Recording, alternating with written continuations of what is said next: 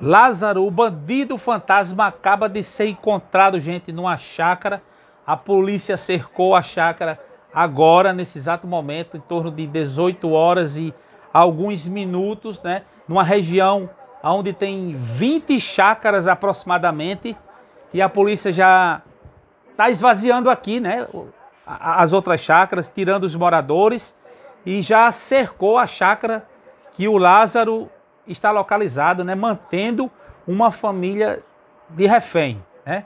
São 10 dias de buscas, em torno de 500, 500 policiais, a polícia militar, a polícia civil, a polícia federal, a Força Nacional, é, guarda municipal, polícia ambiental, enfim, é, é federal, falei, é, é o Brasil todo empenhado na captura do maior serial killer do momento, né? O do homem mais procurado do Brasil do momento. Até então era o homem fantasma, né?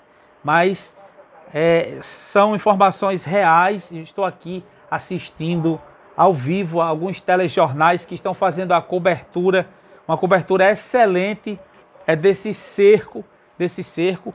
O Lázaro vem vem cometendo é, é injustiça, é, mortes, destruindo famílias durante muitos anos, não é só de agora, o histórico de, de crimes do Lázaro é um histórico grande, já foi preso várias vezes, né?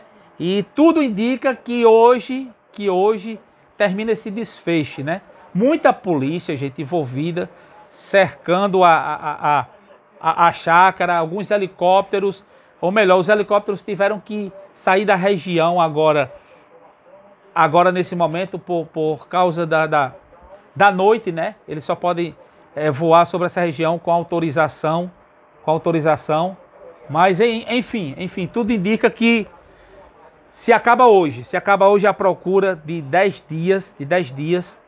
A mãe de, de, de Lázaro, ele chegou, chegou a dizer que ninguém tocaria no filho dela enquanto ela fosse viva, enquanto ela fosse viva.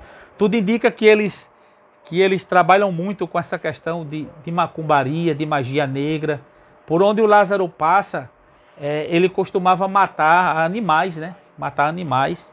E isso não satisfazia mais o seu desejo.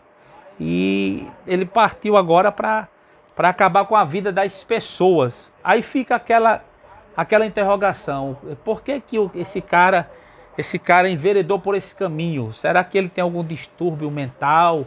Será que ele ele surtou? Ou será que é maldade realmente do seu coração? Você pode deixar aí o seu comentário, né? Com certeza é maldade do coração, ele já nasceu com, com essa. Ou foi desenvolvendo essa, essa maldade, né? Porque a, Bíblia diz que o homem ele nasce com a tendência para o pecado, mas uma coisa desse tipo aí é uma coisa demoníaca, é uma coisa à parte, é um, é um cara que sei lá, faz parte da índole dele. É um serial killer, né? Enfim, todos nós acreditamos que esse desfecho vai terminar dentro de poucos instantes, dentro de poucos instantes. Então estou passando aqui para passar essa notícia para vocês, né? É, estou sempre é, divulgando aqui assuntos da atualidade no meu canal no TV Paraú e com certeza esse assunto, a procura do Lázaro o bandido fantasma, né? É um assunto que está, que está em todas as mídias sociais do momento, na TV, nos jornais. Se você ligar a televisão agora, em qualquer jornal, qualquer emissora, você vai ouvir que o assunto do momento é, é, é a procura do, do Lázaro, né? Esse, desse bandido, né? Desse serial killer. Então, gente, é isso aí. Um forte abraço. Qualquer momento estarei aqui de volta com outro vídeo para todos vocês.